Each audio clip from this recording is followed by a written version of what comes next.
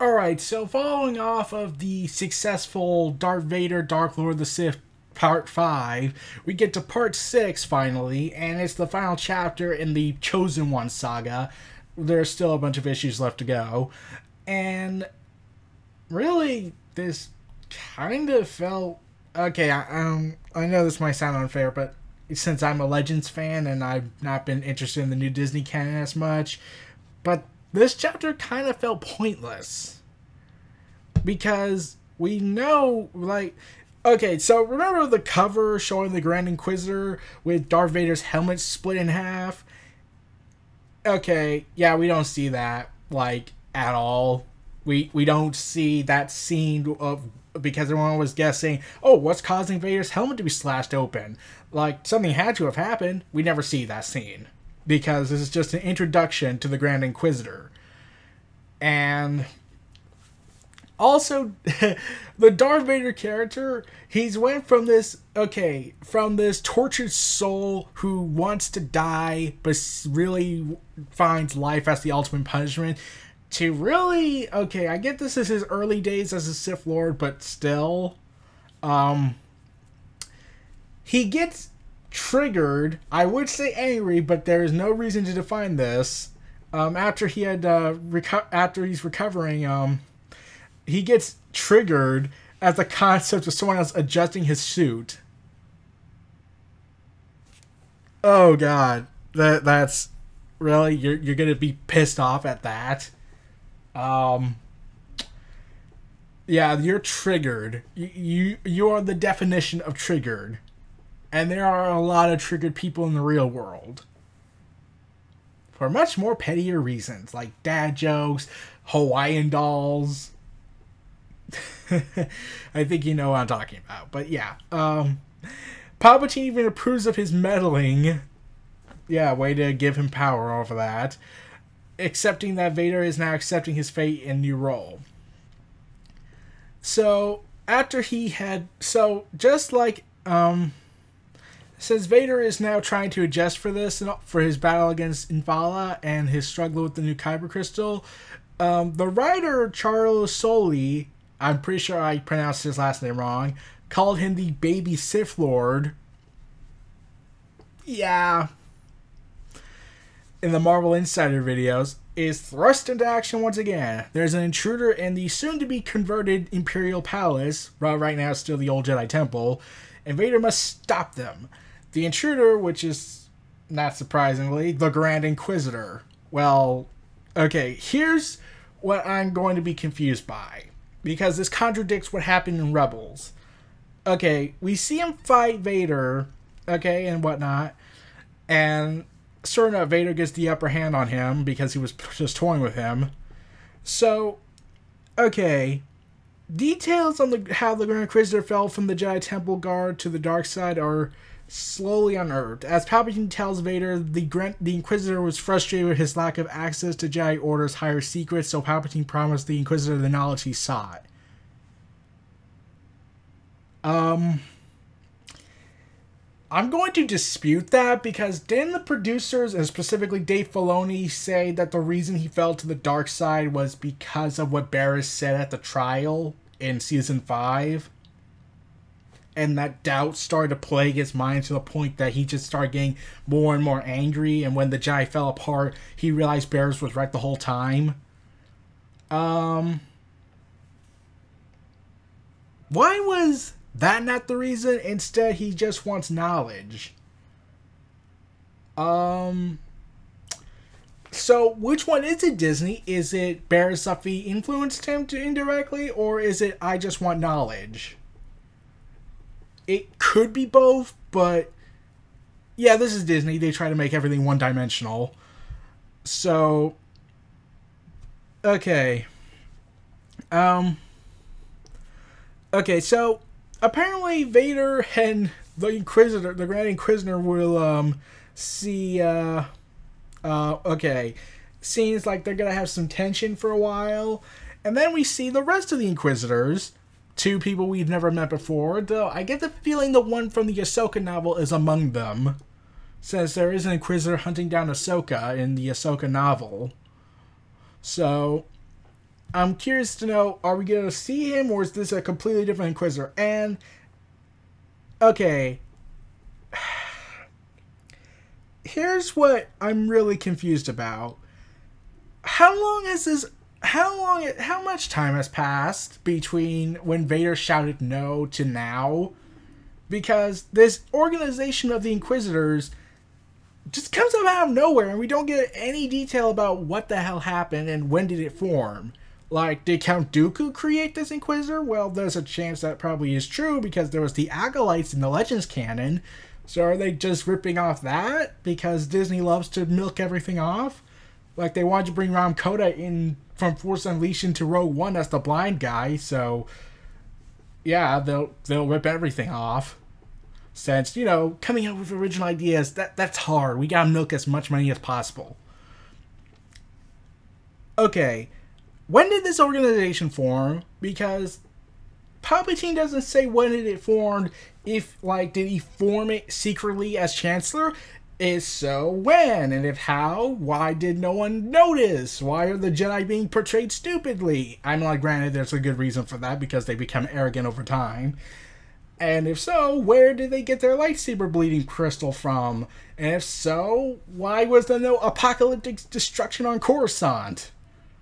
I'm like, that would really explain so much. Um. okay, so Vader's hinting that Palpatine would probably replace him, and Palpatine just, you know, likes to be vague about it. So. so he feels like I have proven myself worthy and see and Palpatine for what he really is, overconfident. Vader isn't quite bold enough to make such a declaration here, but it is a seed that would happen later on in the Darth Vader comic, the 2015 to 2016 one, I believe. I'll talk about that when I finally get to reading that. Okay, so. Okay, now they get into revealing the return of another Jedi, who we are not surprised by, Jocasta Nu, who survived. And I could, like, it's kind of funny. The first Jedi, the second Jedi killed in, in the Legends canon during the Great Jedi Purge. The first one was a Jedi Temple guard who was guarding the front entrance. That was a bad day for the shift. I mean, like, that's explained in the Revenge of the Sith novel. And Jocasta Nu is, um, that Jocasta Nu was stabbed by Anakin afterwards. So, okay, Jocasta Nu is shown and drinking what I think looks like coffee, and I'm wondering, wait, coffee exists in Star Wars? Well, they say God and hell, mostly hell. So, does coffee exist? and I probably would go into a philosophical discussion about coffee, but that would be completely utterly pointless. So, yeah, have you noticed something odd? We just get introduced to the Inquisitors, even though we knew who they were from Rebels, unless Disney thinks children are that dumb. Yeah, it wouldn't surprise me. So, ultimately, I just thought this chapter was pretty pointless in my mind because we knew Jocasta Nu was going to be shown and if so, why couldn't we just get Vader and the Inquisitor working together begrudgingly since there is a hint of tension between the two? Since it seems like Vader doesn't want the Inquisitor to overthrow him and take over his position since he wants to further punish himself. And the Inquisitor seems intent on being by Palpatine's side, but then we see the great thing that Vader apparently does that the Inquisitor will willingly commit suicide over because he doesn't want to face Vader himself because of what happened. So, yeah. Whatever Jocasta Nu is going to do, which is gather the relics of the Jedi Order to do something with them.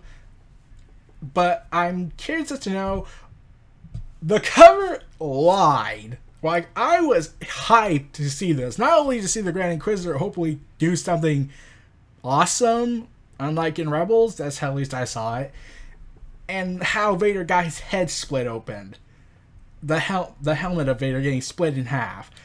We never see that. So is that in the next panel, in the next comic, or was this just Disney hyping things up in order for us to be pissed off later on and complain about on the internet? but yeah, um, okay. Like, there's not really much to go on. Like, we just got the introduction to the Inquisitors, and two we've never seen before, or was it three? Um, I'm curious to know is one of them the brother that goes after Ahsoka? Like, we never got their names. In fact, Stupendous Wave on Twitter said he got something out of it that surprised him, and I looked for it. What was it? Like, I was hoping Barriss Offee would show up. Like, you would think Barriss Offee would be part of this group.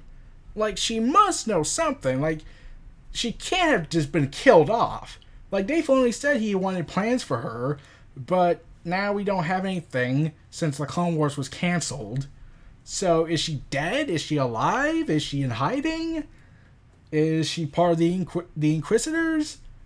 Like everyone speculated that Mer- um, I'm trying to remember the species name, uh, but the same species as Barriss was her, but it turns out it wasn't.